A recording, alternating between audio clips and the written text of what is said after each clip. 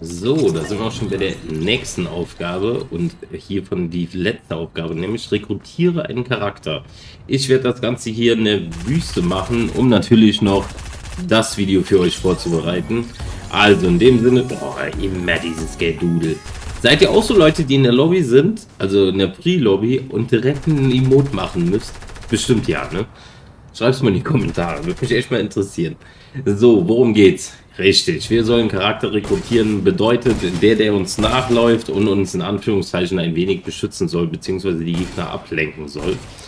So, dann kurz in eigener Sache. Ihr seht ja, links steht mein Creator-Code. Wer ihn einträgt, natürlich Ehre geht raus an jeden Einzelnen.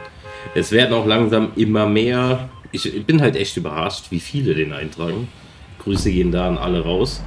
So, dann wer Bock hat auf Custom Games, gern bei mir im Stream vorbeischauen. Wir machen so einen Monatsbesten, beziehungsweise die besten drei.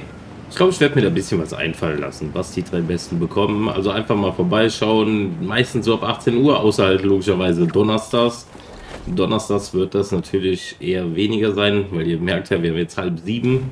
Ich bin gerade das Video im Aufnehmen. Also Donnerstags halt eher, eher weniger, sag ich mal. Könnte noch sein, ja.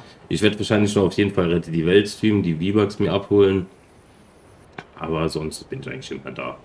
So, wie ich sehe, landet da schon wieder einer. Och Mann. Ah, das ist derzeit so nervig. Das Problem ist, wenn der den rekrutiert hat, kann ich den nicht rekrutieren.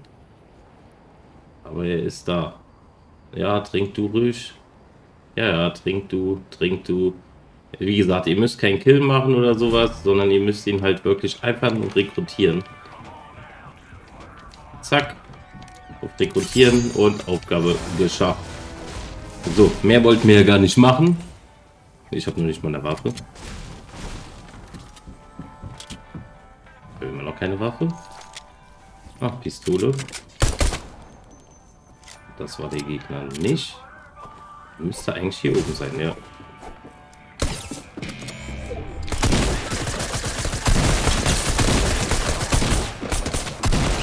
LOL, der Bot kann ja töten.